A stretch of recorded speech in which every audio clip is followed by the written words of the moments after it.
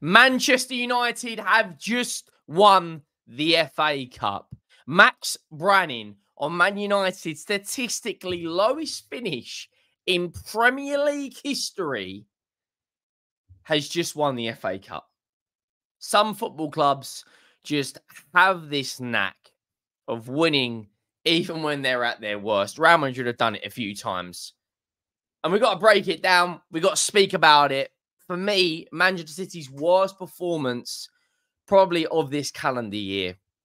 Make sure you go down, drop a like on the video. Make sure you have subscribed to the channel. Big up to every single person on this journey. We just hit 7,000 subscribers. To put that into perspective, we launched this channel at the very, very end of February. We're not even four months down the line and we've just hit 7K subscribers. A big up to you watching right now. You are an absolute machine for, for just, you're just a machine watching every video. So look, thank you from the bottom of my heart. FA Cup, Man United have just beaten City in a team where there was no Rasmus Højlund in the number nine. There was no Di- Diallo, who Amadella, who was the hero of the previous round against Liverpool, um, and Højlund, the hero who scored the winning penalty. Brave, brave lineup from Erik Ten Hag. He went with a midfield three, very, very compact of Amrabat, Mainoo, and Scott McTominay. And Kobbie Mainoo, this guy, this guy, man, like when you talk about generational talents, 19 years of age from Stockport, just an absolute player, man. Absolute player, 19 years of age, and scores the second goal in an FA Cup final. When you talk about big moments, when you talk about big matches, match deciding games, match deciding outcomes, sorry, for trophies, Kobbie Mainoo is him. He has got all the fundamentals when we talk about taking the ball in on the turn, dropping the shoulder, beating his man, playing the right pass, tackling, holding players off, not afraid to pull out of a challenge, scoring goals. He has got every, he ticks every single box for me. The first goal comes out of absolutely nowhere. You know, Manchester City had United pinned down, but United were organized. They knew their roles. Every single player in this Manchester United team today can come off that pitch with their held held high. Onana, and yes, Doku squeezed the goal in in the 87th minute, but he made save after save after save after save. You know, was claiming crosses, was punching corners. But we'll start with a goal. A moment of absolute madness. The ball gets played over the top, and Gvardiol and Ortega, they're both at fault for me. Gvardiol is complaining that Ortega should have come to deal with it, and Ortega's moaning at Gvardiol that he should have let him deal with it.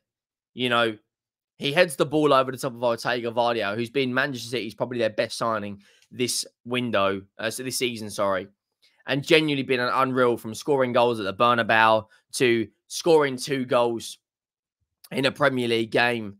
You know, could have had a hat trick that game. But when you talk about errors, that is as big as you're going to get. That is a massive, massive, massive error.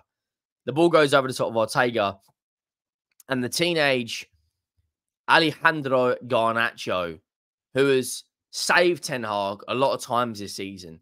You know, he himself is 19 years of age. Another fantastic player. Two of the youngsters, two of the teenagers. He's even younger than Kobbie Mainoo, which is mad, which is absolutely mad. Sorry, he's a, sorry, he's actually uh, nine months older. But two 19 year olds on the score sheet today to dunk Manchester City out of the cup. And I'm going to say it right now. After that performance, City are in the mud. A terrible performance from City by their standards. As in my opinion, the best footballing team in the land. Absolutely dusted today. Outworked, outfought. City had all the possession, 19 shots, four on target, 670 odd passes. But, you know, the first goal, Garnacho you know, capitalize it. He's gambling. He's he's thinking there could be a mistake here, and there was a mistake, and he taps it into an empty net, and you're thinking, wow, That's gone against the run of play. That wasn't in the script. That wasn't planned. And then the second goal genuinely is a moment of absolute magic. It's a moment of magic from Manchester United. It really is. Truly a great goal. Rashford plays the ball over the top to Garnacho on the right hand side, who plays it into Bruno Fernandes. And the weight of the pass from Bruno Fernandes into Kobbie Mainoo, first time. And Kobbie Mainoo calmly slots it into the back of the net. But the pass from Bruno Fernandes genuinely is absolutely exquisite. Exquisite. Like, absolutely insane pass. Plays it into Kobbie Mainoo, and he then tucks it into the back of the net. And you're thinking, wow, Manchester United are 2 0 up, two goals in nine minutes. They go into half time. They deserved their lead. They were the better team overall, in my opinion. Yes, City had a lot more chances, but Kevin De Bruyne had an absolute disaster class.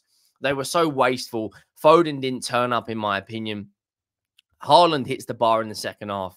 But you go into the fir- uh, uh, into the end of the first half, and you're like, wow, Man United have now won won this half. They've stuck to their roles. They've been organized brilliantly from Erik Ten Hag, who the uncomfortable conversation is now. He's been in the Premier League for two years and has now won an FA Cup and the League Cup. Uncomfortable conversations. Is he actually that bad, or is it this squad? Because this squad today, in that first half for me, that's Man United's best performance of the season. But that first half is the best half of football they've played all season. To a man, they were brilliant. You go into the second half. When I looked at half time, I was thinking the only two players that actually had open space to run at players was Gvardiol and Silva. So Pep naturally, you know, we know the way he is. He made some changes at halftime. He brought on Jeremy Doku, who probably was City's best player in the second half. He brought him on for Kovacic, and he brought on Manuel Akanji for Ake. Then in the 58th minute, he took off De Bruyne. When Alvarez and Doku come on, it changed the game for City. They were running at players. They had a little bit more space. Man United naturally were backing off and just saying, hey, come on to us and we'll just counter attack you. And they did that very well. Even when Rasmus Højlund come off at the very come on at the very, very end, even he did really well, holding the ball up a couple of times and winning a couple of free kicks. But the pace of Rashford, Bruno Fernandes, Højlund, Garnacho, Kobbie Mainoo, City couldn't live with it. And this is the way you beat City. This is the way that Tottenham have always managed to get a result at home. Obviously, this season was was was didn't go to plan, but even when you think of when Wigan beat them in the FA Cup, even when you think of, you know, when Madrid beat them earlier in the Champions League, the way you play against City is you do not go toe to toe with Man City because then you're going to get knocked out. You're going to get RKO'd. When Arsenal got a result at um, the Etihad and when Arsenal beat uh, City at the Emirates, they all play the same way. You just sit back, defend for your lives, and counter attack. And Man United today genuinely a brilliant, brilliant, brilliant performance. Best performance of the season from Manchester United. Truly, they were fantastic. They were absolutely fantastic today.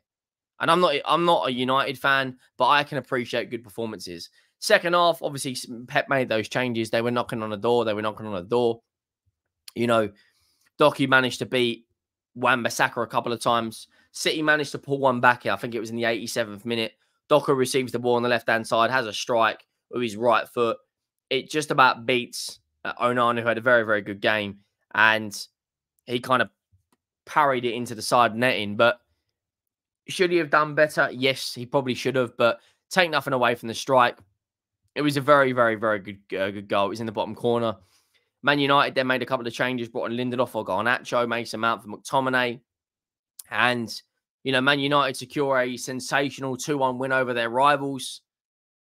And Man United now have, have won 13 FA Cups. So that, I mean, even at their worst, even at their worst, Man United, with their lowest Premier League finish in their history, have managed to win an FA Cup.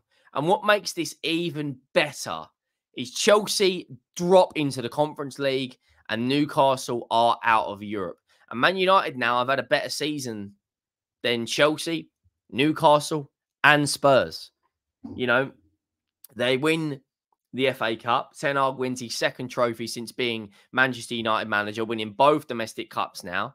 The big question is, will he be there next season? And I think, based on this performance alone, that the dressing room isn't as toxic as people make out to be, and that these players, when when when is required, play for Ten Hag. We saw their performance against Liverpool, where they won it at the death in extra time. Yes, they didn't play well against Coventry, but they showed resilience and won a penalty shootout. And they they have now won two trophies in 15 or 16 months under Erik Ten Hag. And the dressing room, I think, can and has proven today they can get behind him. You know, to win two trophies in two years, you know, that's more there's more trophies in Liverpool have won in the last two years. There's more trophies in Chelsea, Villa, Arsenal, Spurs, Newcastle, you know, and and and they come back with the FA Cup. So I don't I don't I don't believe in a lot of the things that gets reported around the Man United dressing room is as toxic as it's ever been. But right now, they are the FA Cup champions. Make sure you drop a like, make sure you subscribe, and I'll see you.